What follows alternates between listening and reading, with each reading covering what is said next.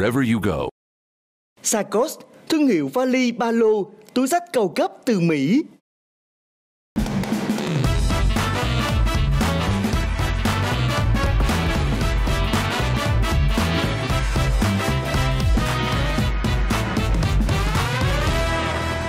Chào mừng các bạn đang đến với chương trình Thử thách bất ngờ. Trình Thử thách bất ngờ do Đài truyền hình Thành phố Hồ Chí Minh phối hợp cùng công ty truyền thông Bi thực hiện, được phát sóng vào lúc 21 giờ 15 tối thứ sáu hàng tuần trên kênh HTV9. Và hân hạnh cảm ơn nhãn hàng vali, ba lô, túi sách cao cấp Sarcos đã đồng hành cùng chúng tôi. Chương trình thử thách bất ngờ chính là một sân chơi vô cùng mới lạ. Bốn người chơi sẽ vừa là đối thủ, cũng vừa sẽ là đồng đội của nhau. Sẽ cùng nhau vượt qua những câu hỏi của chương trình để giành lấy giải thưởng trị giá lên đến 45 triệu đồng. Ngay bây giờ thì chắc chắn không để mọi người phải chờ lâu nữa Chúng ta sẽ cùng gặp gỡ bốn người chơi rất là dễ thương của ngày hôm nay. Đầu tiên xin mời diễn viên Dương Thanh Vang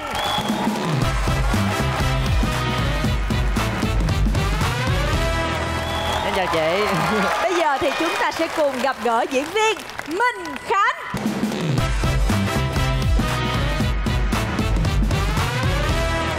Rồi. Dạ, chào chị, chào anh Em là Minh Khánh à, Xin gửi lời chào trân trọng nhất đến à, tất cả các quý vị đang xem đài à, Và đang xem chương trình à, Thử thách bất ngờ Bây giờ là mình có trai xinh rồi đó Bây giờ Dạ. mà chỉ cần Gái có gái đẹp. đẹp thôi Nha Nhưng mà phải đẹp nha chị Phải đẹp nha Dạ. Để coi đồng đội Và bây đã. giờ Dạ. thì chúng ta sẽ cùng gặp gỡ diễn viên Ngọc Hoa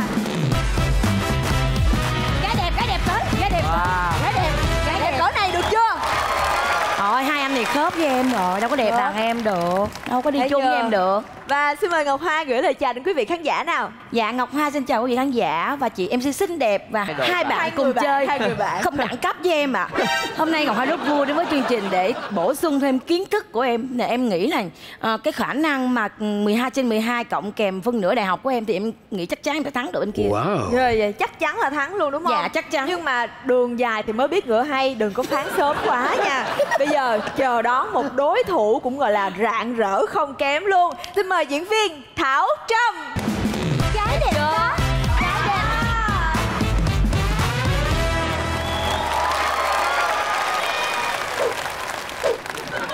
Tại mới vừa bước ra là giới thiệu luôn là gái đẹp, gái đẹp đây À, lời đầu tiên thì à, cho em xin phép được kính chào chị MC à, các anh chị cùng chơi. Dạ như mọi người được biết thì em tên là Thảo Trâm à, Và rất vui khi được làm quen với các anh chị cũng như là được chơi cùng với các anh chị. Xin chào! Bình thường á thì có bao giờ mà các bạn cảm thấy bị lo lắng với cái vốn từ ngữ cũng như là cái vốn chính tả của mình chưa? Thật sự là em rất là lo lắng về cái vốn chính tả của mình luôn. À, Như mọi người đã biết là em tên à, Thảo Trâm mà em tên Trâm Á. Ngày xưa cha em định đặt em tên là Trâm ớ Nhưng mà cha em sai chính tả nên đặt em thành Trâm Á Sai chính tả từ thời cha em luôn. À, Em ơi Trời ơi. Thiệt á Nếu mà Trâm không nói là nó Trâm Á hồi nãy giờ Thì mình phát âm là Trâm không luôn á. Rồi, mọi, mọi mọi người cứ nghĩ là cái tên em đặc biệt không à nhưng mà thật ra không phải cha em sai chính tả Nhưng mà em phải cảm ơn cha em đi Bây giờ giữa muôn Đúng ngàn rồi. người tên là Trâm ớ đúng Dạ. không? Thì Đúng có rồi mỗi chị. mình em là Trâm Á dạ đúng chỉ có một mình em là Trâm Á À vỗ tay Hồi nãy giờ mình cũng giao lưu nhẹ nhàng để biết coi cái khả năng của mọi người thế nào rồi ha Bây giờ chúng ta sẽ bước vào cái thử thách đầu tiên để xem mọi người sẽ vượt qua như thế nào nha Và vòng 1 của chúng ta được mang tên Biệt đội ngôn ngữ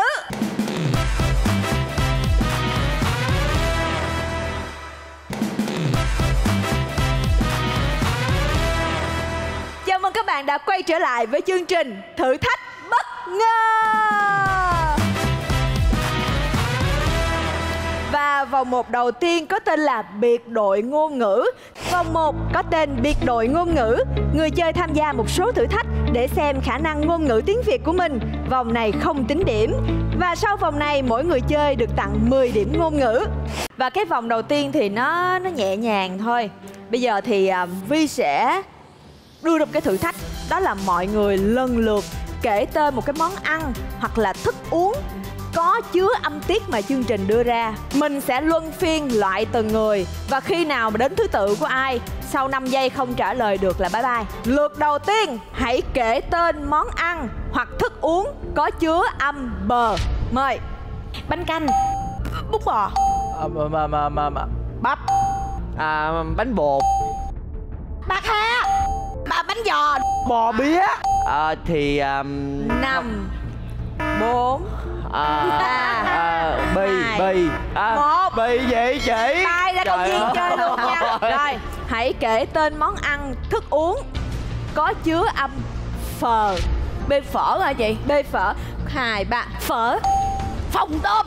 Phò a pha phò pho phụ phu Khó phò quá phi ha. phì phì phì phì Bây giờ phì, mới là nè. Năm, phùng phùng phu bốn, phan phu phu ba, phan phan phan phan phan phan pháo pháo pháo giờ À, ai ăn pháo anh? Lượt cuối cùng nha. Hãy kể tên món ăn hoặc thức uống có chứa âm hờ hành. Hầu hầu năm bốn ba hai một. À, hết giờ. Ủa? Thắng rồi. Em phải nói được cái từ h mới được thắng hả chị? Đúng. đúng rồi. À, húng Xin chúc mừng. Và người chiến thắng trong vòng đầu tiên Vòng khởi động của chúng ta Sẽ được 10 điểm ủa sao nãy chị nói là chơi trò này chơi khởi động không có lấy tính điểm mà Bên đây ba người có muốn được thưởng điểm không? Muốn. Dạ, muốn. Muốn đúng không? Dạ. dạ. Chấp nhận một hình phạt sẽ được thưởng điểm. Yeah. Yeah. Phạt là xanh ve quá dành dạ Yeah. tâm lý thì phải buồn. Không biết bị mất nhận thức luôn không biết phạt là gì luôn á. Và hình phạt của chúng ta thì vô cùng đơn giản. Các bạn à, thấy trái gì không? dạ à, trái cóc. Nhưng mà đâu có phải vừa ăn không đơn giản vậy Vừa ăn vừa nghe nhạc Và vừa nhảy Nhảy À, liên nhảy. tục theo nhạc. Rồi bây giờ làm cho người chiến thắng quy định là mỗi người ăn bao nhiêu trái cóc luôn. Ba người này phải ăn hết cái dĩa này cho em mới được thưởng điểm. Thông minh nó có lợi lắm chị. Nói vậy đó. Cái Nói nghe nè Chương trình mình á là vừa là đối thủ mà vừa là đồng đội Ủa? nữa. Vậy nha thôi, Đừng có vậy để thôi. chơi tới vòng cuối đồng đội sao Người ta chơi người ta cho mình ra rìa nha. Thôi thôi Rồi mọi bạn Nhạc ăn. lên xin mời. Bốn miếng thôi. Bốn miếng rồi cầm trên tay bốn miếng luôn đi.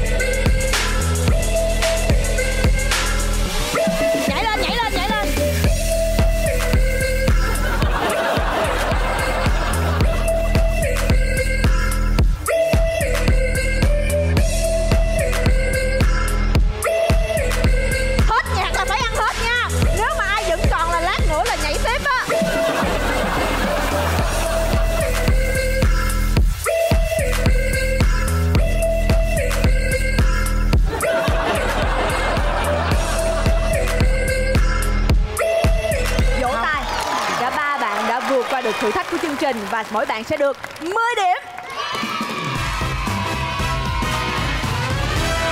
Và ngay bây giờ chúng ta sẽ cùng đến với vòng 2 của chương trình mang tên Câu hỏi ngôn ngữ.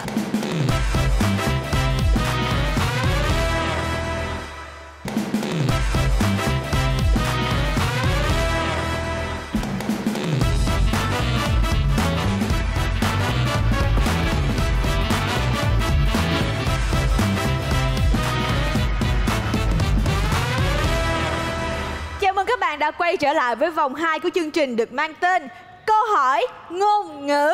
Vòng 2 có tên Câu hỏi ngôn ngữ. Sẽ có 5 câu hỏi về chính tả và ngôn ngữ. Khi MC đọc câu hỏi, người chơi ghi đáp án vào bảng và đưa lên để trả lời. Với mỗi câu hỏi, người chơi có 20 giây để suy nghĩ và đưa ra đáp án. Cách tính điểm như sau. Nếu đúng, số điểm được bảo toàn. Nếu sai hoặc không ghi kịp đáp án sẽ bị trừ một điểm. Như vậy thì bây giờ chúng ta hãy cùng đến với câu hỏi đầu tiên. Câu hỏi đầu tiên như sau. Gia tràng xẻ cát. Hãy sắp xếp trật tự các dấu thanh để tạo thành một câu thành ngữ có ý nghĩa và đúng chính tả. 20 giây, bắt đầu.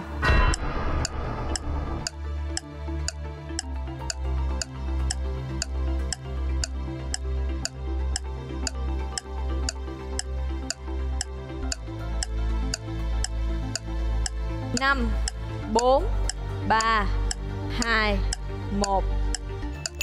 Và 20 giây đã kết thúc. Xin mời giả tràng xe cát. Và với câu hỏi đầu tiên này Thì cả bốn bạn đều được bảo toàn số điểm. Và với câu giả tràng xe cát này thì ờ, ý nói là làm những cái việc vô bổ không mang lại kết quả, uổng phí thời gian và công sức. Dạ Rồi, câu đầu tiên là dễ quá đúng không? Dạ dạ Và bây giờ thì à, đến câu số 2 Và với câu số 2 này thì xin mời các bạn hãy cùng nhìn lên màn hình Cùng xem một đoạn video nhạc khi bánh xe còn lăn bánh khi bánh xe còn lăn bánh. Ta sẽ vòng với cuộc sống hối hả. Quên đi mộng ước thanh xuân đã trôi qua. Ta ngại và chạm khi nhiều lần dối trá. Những lời áp lực bởi công việc muốn đi xa. Vứt hết một lần trước khi nhìn để thoái hóa. Tự do tự tại như trên trời và thi ca. Bây giờ câu hỏi của chương trình như sau.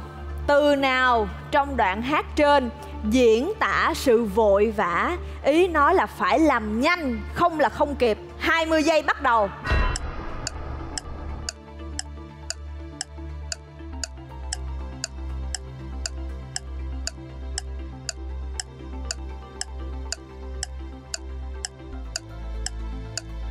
Năm bốn ba hai một.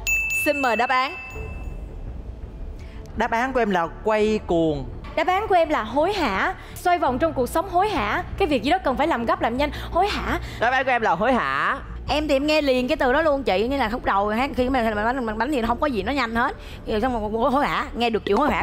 Và trong câu hỏi số 2 này Thì Dương Thanh Vàng bạn đã bị trừ một điểm. Ba người chơi còn lại của chúng ta đều được bảo toàn số điểm. Xin chúc mừng. Và câu hỏi số 3 của chúng ta có nội dung như sau. Trường hợp nào sau đây viết đúng chính tả? Khi diễn tả khả năng nhận xét, ứng phó nhanh, thông minh? A. Sắc sảo. B. Sắc sảo. C. Sắc sảo. D. Sắc sảo. 20 giây bắt đầu.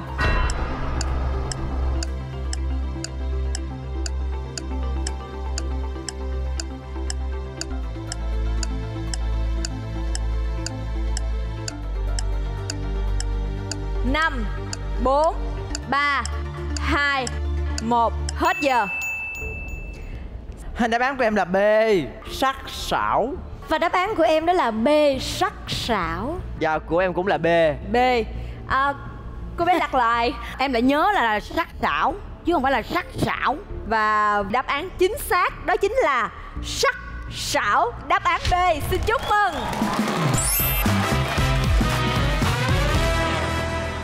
Và sắc sảo là tỏ ra là có khả năng nhận xét, ứng phó nhanh và là một người thông minh. Bây giờ đến câu thứ tư. Có nội dung như sau. Nhận được tin mẹ Lan nhập viện, dì Mười khuyên Lan hãy bình tĩnh giải quyết.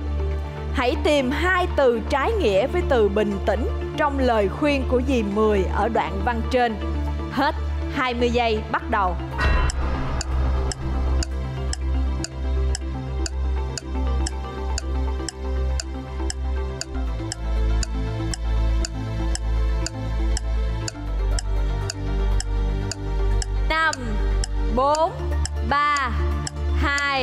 Một. Hết giờ. Xin mời đáp án các bạn. À, Hoa ơi Bây giờ chưa cần bàn luôn Bạn sai đề ha. Bạn đã ghi thiếu một từ rồi trừ À. một điểm. Dư Thanh Vàng. Ờ, em ghi từ lúng túng và từ thứ hai ban đầu là em ghi là rối ren nhưng mà em lại chợt phát hiện là cái chính tả em rất là có vấn đề với từ ren. Thế làm đi rối rắm cho nó chắc. Từ em hơi dài. À, Trái nghĩa với bình tĩnh là mất bình tĩnh Và hồi hộp.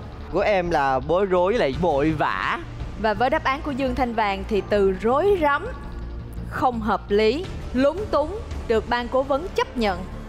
Nhưng mà hai từ mà sai một từ rồi, cho nên là vẫn bị trừ một điểm. Trăm mất bình tĩnh và hồi hộp thì không có hợp ngữ cảnh. Trừ một điểm. Và minh khánh, bối rối, vội vã. Và hai từ này của bạn đã được ban cố vấn chấp nhận. Bạn được bảo toàn số điểm. Xin chúc mừng.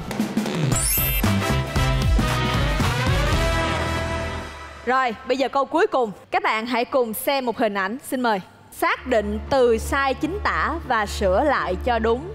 20 giây bắt đầu.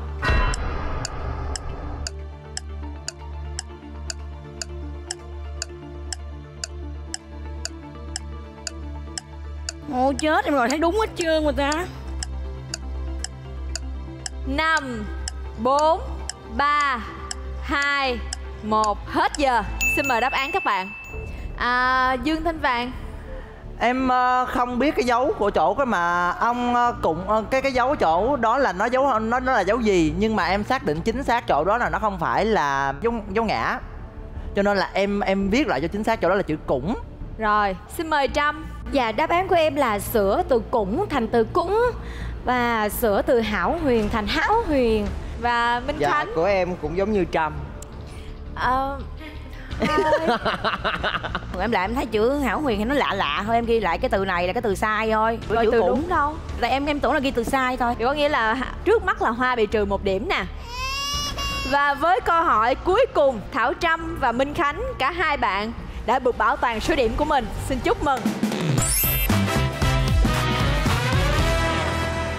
Chúng ta tổng kết số điểm của vòng thi số 2 Dương Thanh Vàng, bạn còn lại 7 điểm. Thảo Trâm còn lại 9 điểm. Ngọc Hoa Bạn còn lại 7 điểm. Minh Khánh bảo toàn số điểm 10 điểm. Kết thúc vòng thứ hai. Chúng ta sẽ bước vào vòng số 3 vô cùng gây cấn. Nhưng trước tiên, chúng ta hãy cùng giải lao trong vòng ít phút. Chúng tôi sẽ quay trở lại ngay nha!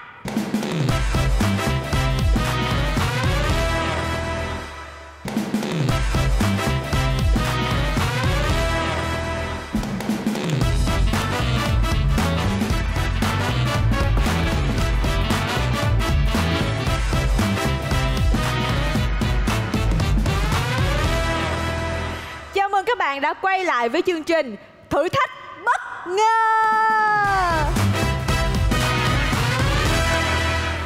Và bây giờ thì chúng ta đang chuẩn bị bước vào vòng 3 của chương trình. Vòng 3 được mang tên Câu chuyện ngôn ngữ. Vòng 3 với tên Câu chuyện ngôn ngữ. Vòng 3 chúng ta sẽ có 3 lượt chơi. Mỗi lượt, người chơi được bốc thăm một tổ hợp âm tiết. Người chơi phải điền dấu thanh để biến chúng trở thành từ có nghĩa. Sau đó kể tiếp câu chuyện có ý liên kết từ câu mở đầu của chương trình. Mỗi lượt người chơi có 20 giây để đưa ra đáp án.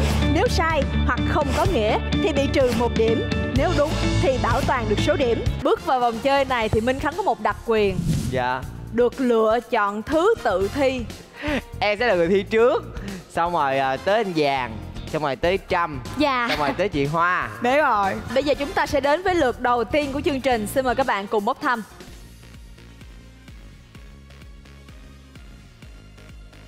Đầu tiên xin mời Minh Khánh. Dạ. 20 giây dành cho bạn bắt đầu.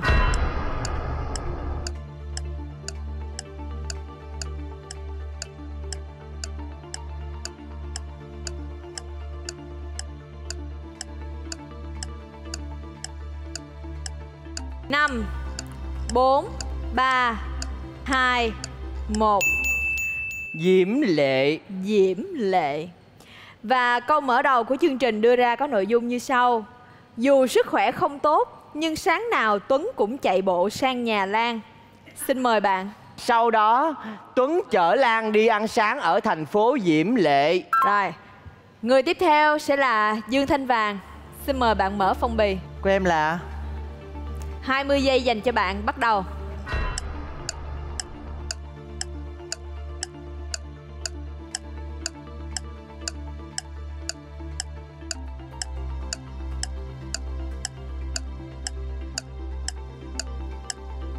năm bốn ba hai một. Hết giờ. Hóm Hỉnh. Hỉnh Hỉnh. Rồi vậy thì câu chuyện của từ hóm hỉnh này là gì? Um, ờ, câu chuyện của Khánh hồi nãy là Đi ở Lan đi Diễm ăn sáng Lệ. ở thành phố Diễm Lệ. Trên đường thì Tuấn kể cho Lan nghe những câu chuyện rất hóm hỉnh. Ồ Đó, rồi ơi rồi, xin mời Thảo Trâm. 20 giây dành cho bạn bắt đầu. Cái này là cái khỉ quán đó. Không, cái này khó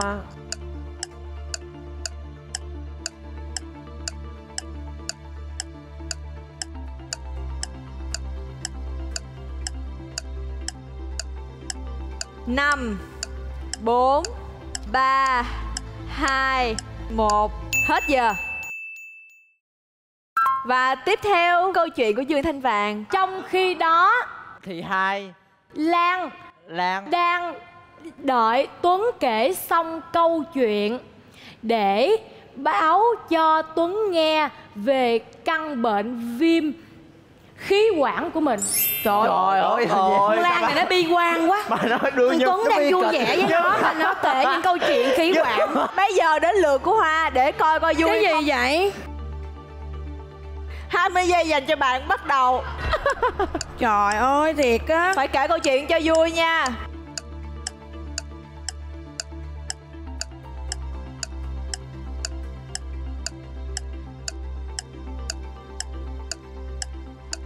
Năm bốn ba hai một hết giờ. Chủ quán. Và tiếp theo câu chuyện là sau đó hai người tấp vào quán ăn của ông chủ quán quen thuộc. Rồi ăn một tô bún nước lèo rồi về. Ý như vậy thì à, để xem ban cố vấn của chúng ta đã quyết định như thế nào nha. Diễm lệ cái nghĩa của nó là xinh đẹp và có một cái vẻ đẹp rất là trang trọng. Trong cái trường hợp này ít khi người ta dùng cái từ diễm lệ cho thành phố phù hợp hơn thì nên dùng là hoa lệ. Tiếc là từ hóm hỉnh là xoay chính tả. Nên thật sự ra đó cũng là một từ đúng trong cái ngữ cảnh này. Căn bệnh viêm khí quản và cái câu chuyện vừa nó không có mối liên quan với nhau. Chính vì thế mà cái sự gắn kết của dung đoạn văn này nó không có. Cho nên chính vì thế mà mình đánh giá là nó không phù hợp với lại cái phần triển khai tiếp theo của đoạn văn. Với lượt đầu tiên, chỉ có mỗi Ngọc Hoa là được bảo toàn số điểm thôi. Ba người còn lại, mỗi người bị trừ một điểm. Rồi Khánh ơi bây giờ mình có muốn đổi thứ tự không? Hoa em đi. sẽ để cho chị hoa chơi trước xong rồi tới à, tới em xong rồi tới à, em! đến vàng xong rồi tới bé trâm nha. Tại bé trâm nó đưa đưa nhân vật vô đường cùng lắm chị. Xin mời mọi người cùng bốc thăm. Và với lượt đầu tiên Hoa xin mời. 20 giây dành cho bạn bắt đầu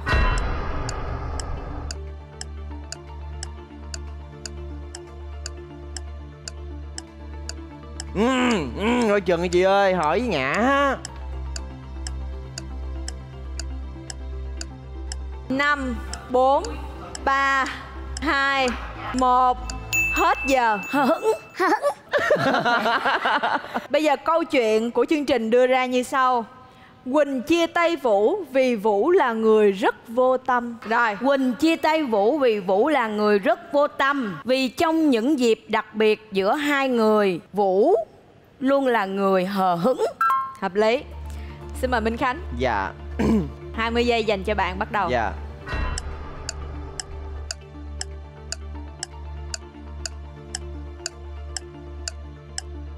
Tuy Vũ là một người giỏi giang Nhưng tính khí của Vũ làm Quỳnh không chấp nhận được. Rồi hợp lý. Tới à, Dương Thanh Vàng.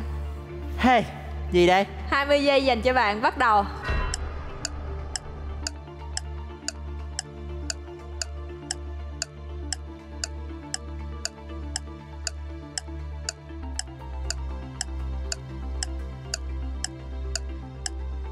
Năm bốn ba hai một.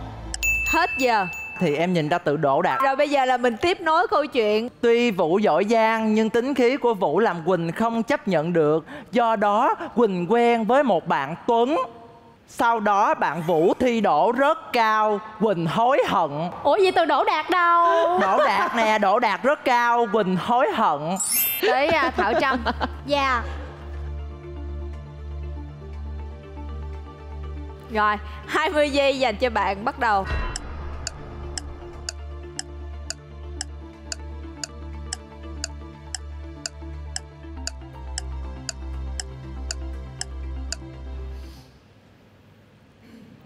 Và xin mời câu chuyện của bạn.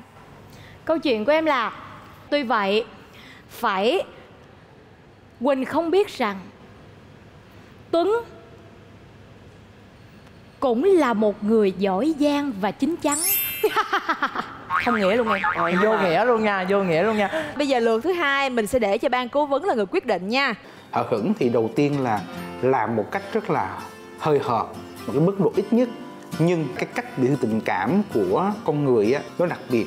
Có những người à, vốn dĩ là họ nồng nhiệt và có những người thì có những cái à, e ngại rụt rè khi bộc lộ tình cảm à, qua những cái cử chỉ thân mật trong đám đông. Như vậy thì lấy một cái à, kết luận là vì trong nơi đông người anh ta hờ hững với mình, rồi kết luận là anh ta vô tâm mà bỏ như vậy thì à, không phù hợp lắm với lại cái tâm lý trong đời sống. Dù rằng cái câu à, số 2 mình không chấp nhận nhé, nhưng mà mình đang nói về cái diễn tiến của cái việc mà cái cô này, cô chia tay cái anh này. Như vậy thì bản thân anh này là cách thể hiện về tài năng thì rất là tốt nhưng mà về cảm xúc anh này biểu hiện như thế là kém. Vậy thì à, mình hoàn toàn chấp nhận cái trường hợp này. Và đây là một cái câu rất là sát về nghĩa. Logic ha, mình nói về logic thì à, anh này giỏi giang mà ha, mình chấp nhận trường hợp đó thì anh đổ đạt là chuyện bình thường. Nhưng mà tự nhiên á, cái nhân vật tên là Tuấn này nó chen vô mối quan hệ này á, nó khiến cho cái câu chuyện này tự dưng nó bắt đầu nó ngã sang một cái hướng khác mà cái ngã rẽ này nó không có tốt lắm trong việc gắn kết nội dung. Và điều thứ hai thì nó để lại một cái cảm quan ờ, chưa tốt lắm cho nhân vật ừ, người phụ nữ tên là Quỳnh. Như vậy thì nó không hay lắm.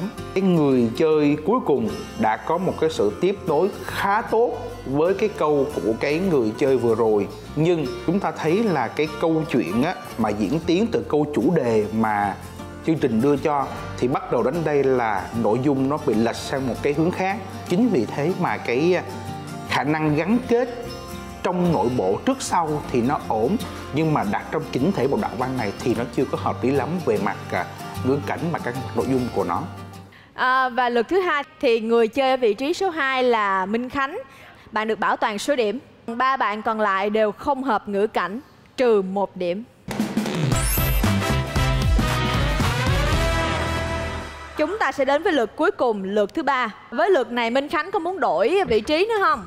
Trăm đầu Xong rồi tới um, chị hả chị Hoa rồi tới em rồi tới vàng ok Dạ Lên Xin mời. Thảo Trâm. Rồi, 20 giây dành cho Trâm bắt đầu.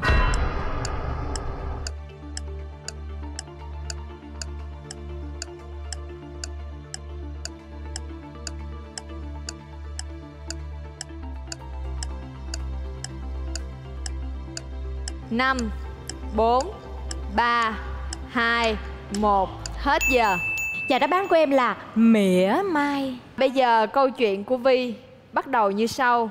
Giữa đêm khuya, Hằng nhận được tin nhắn đe dọa từ một số điện thoại lạ. Xin mời câu chuyện của bạn.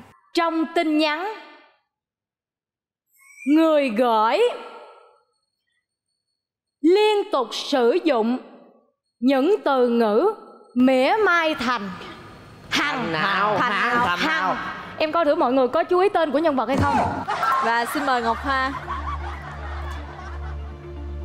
20 giây dành cho bạn bắt đầu.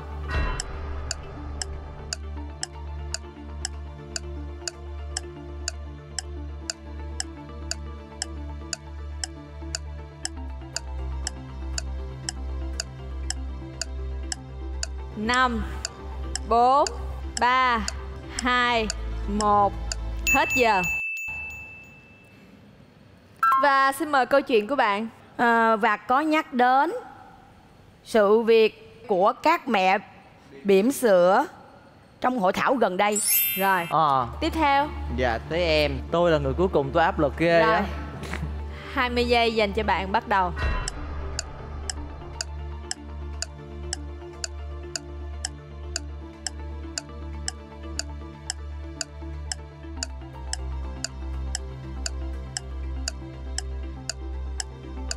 năm, bốn, ba, hai, một. Hết giờ. Em biết vậy, em không có đứng thứ ba đâu. Rồi cái gì vậy gì vậy? Dạ chủ trì.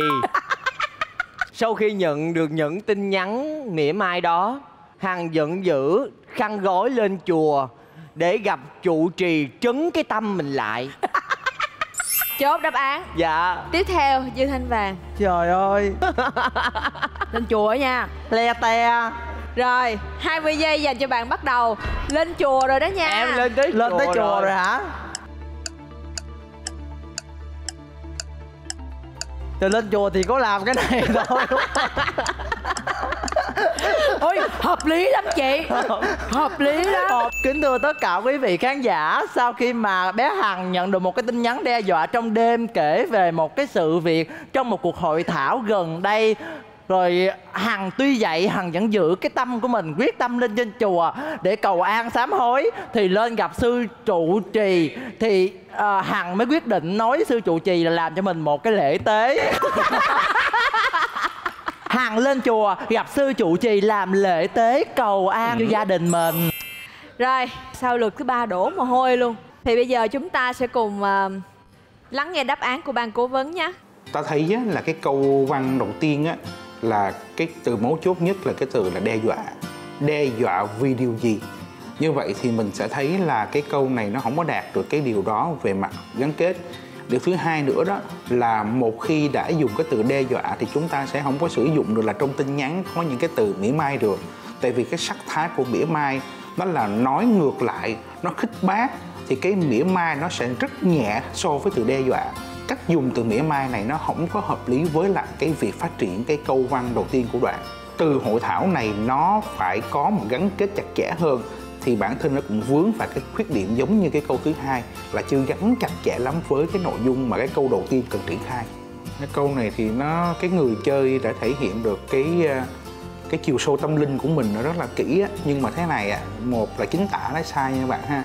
Bởi vì à, ta có thể dùng hai cái hướng, một là chủ trì và hai là trụ trì. Thì mình nghĩ là cái cách mà bạn đang hướng tới là cái từ trụ trì. Có nghĩa là một cái người được à, uh, giáo hội phân công để uh, đảm đương cái trách nhiệm thực hiện những cái nhiệm vụ quan trọng trong cái một cái ngôi chùa. Như vậy thì mình sẽ dùng cái từ là trụ trì nó sẽ hợp lý. Điều thứ hai là uh, lên chùa nhờ trụ trì. Trấn lại cái sự việc này thì uh, bản thân á, cái cái việc này á, nó cũng không có quá ghê gớm đến mức mà phải dùng uh, trụ trì để trấn lại mà mình nghĩ là nên báo công an nó sẽ phù hợp hơn. Thông báo với bạn là bạn đã tự ý bạn thêm vô. Chứ đúng là cái từ của chương trình là từ le te ha. Bản thân cái câu đó thì chắc chắn không chấp nhận được rồi. Tại vì là ừ, cái từ đã bị sai đi ha. Và thứ hai nữa là ở cái cái cầu an thì cũng không phải làm cái lễ tế một cách ghê gớm được. Thành ra bạn à, chú ý về cái phương diện đó. Với lượt thứ ba này, cả bốn bạn đều bị trừ một điểm.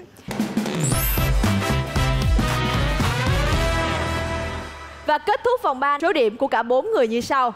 Dương Thanh Vàng với số điểm 4 điểm. Thảo Trâm, Bạn còn 6 điểm. Minh Khánh, Bạn còn 8 điểm. Ngọc Hoa, Bạn còn lại 5 điểm.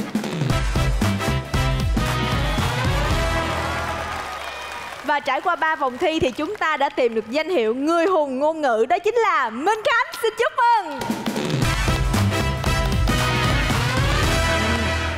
Hồi nãy giờ các bạn coi như là chơi riêng lẻ là đối thủ của nhau, đúng không nào? Nhưng mà bây giờ tại vòng cuối cùng hãy kết hợp thật nhịp nhàng để trở thành đồng đội trong vòng 4 của chương trình. Trước khi đến với vòng đặc biệt, chúng ta hãy cùng nghỉ giải lao trong ít phút. Chúng tôi sẽ quay trở lại ngay nha.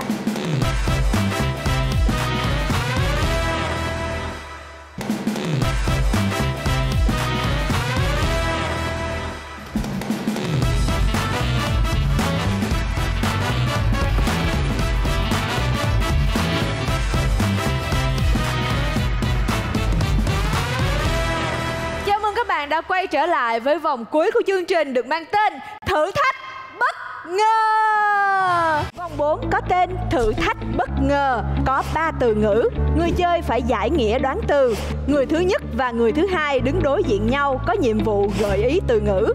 Thời gian là 20 giây.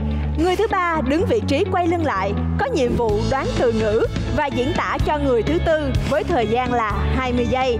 Người thứ tư phải viết lại từ ngữ của chương trình cho đúng chính tả với thời gian cũng là 20 giây.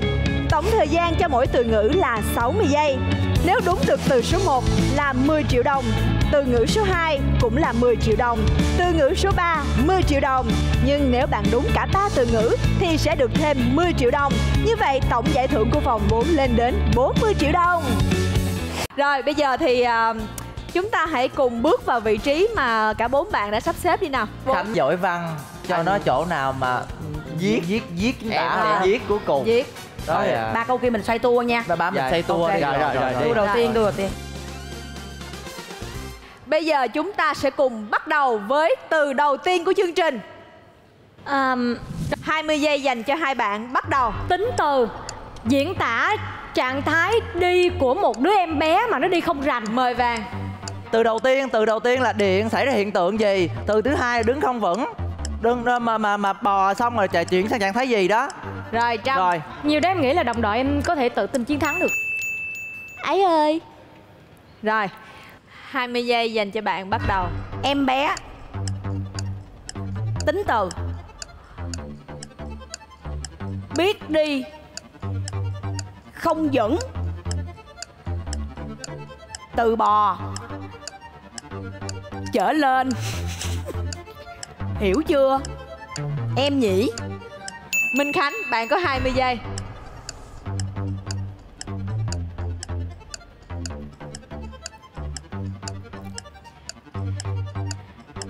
Nhớ là viết đúng chính tả nha.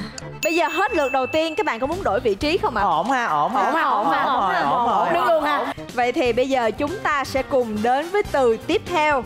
Xin mời. 20 giây bắt đầu. Từ đầu tiên là trong trường thì đánh cái gì để vô giờ Rồi xin mời Trâm. nguyên âm của nó giống nhau Ờ, diễn tả cái trạng thái cảm xúc là bây giờ mình không biết làm gì nữa hết trơn rồi trời ơi từ trời. thứ hai là điền vào chỗ trống thùng chấm chấm chấm kêu to Xin mời Trâm. khó giải thích quá Mời vàng. xong rồi nó hiểu rồi Rồi. Chỉ cần khều cái là biết rồi đó. 20 giây cho Ngọc Hoa bắt đầu. hai từ hình tròn trong trường đầu giờ, từ hai cái bụng, không no, thì sao Hết giờ. 20 giây dành cho Minh Khánh.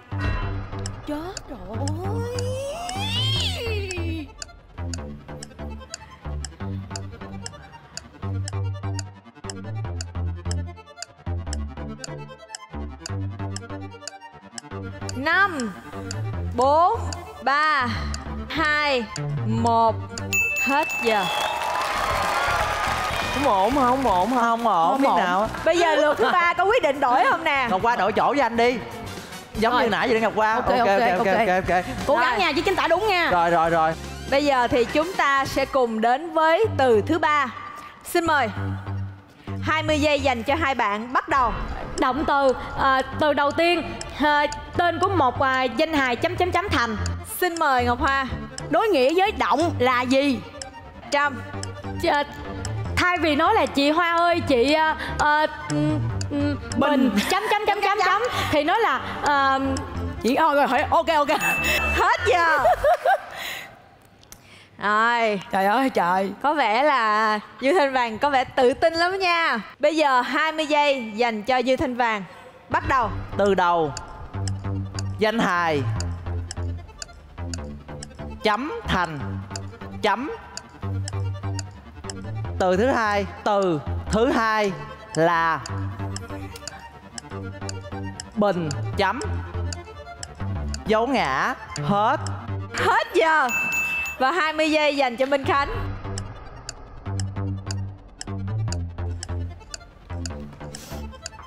đúng không xong mà Xong luôn. xong mà Và xin mời các bạn vào vị trí trung tâm.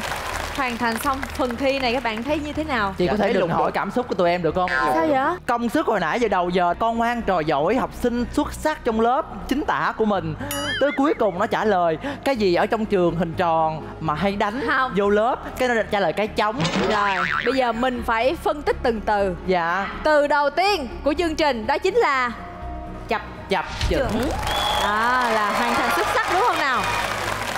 Từ thứ hai đó chính là chị diễn tả sao trong trường có cái gì đánh? Đây chị hoa nè người ta nói là người ta biết ờ, nói gì mình diễn tả là mình diễn tả cái trống rồi nhưng mà người ta vẫn ghi là cái trống. Vẫn phải dành lời khen cho những bạn gợi ý của chúng ta ngày hôm nay.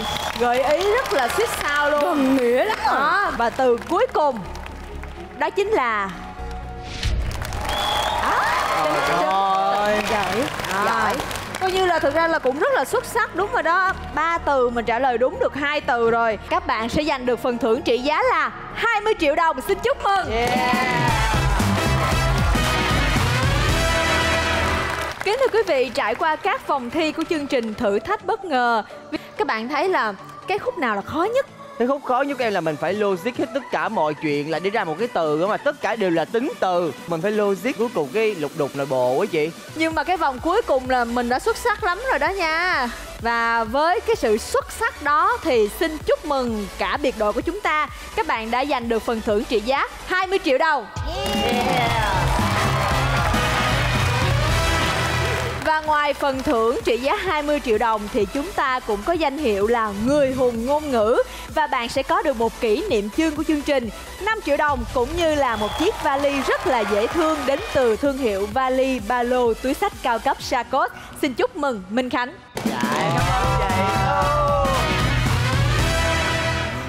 Xin được cảm ơn quý vị khán giả đã theo dõi chương trình thử thách bất ngờ ngày hôm nay. Chương trình được phát sóng vào lúc 21 giờ 15 tối thứ sáu hàng tuần trên kênh HTV9 và xin được cảm ơn nhãn hàng vali, ba lô, túi sách cao cấp Sacos đã đồng hành cùng chúng tôi. Xin chào và hẹn gặp lại. Sacos, wherever you go. Sacos, thương hiệu vali ba lô, túi sách cao cấp từ Mỹ.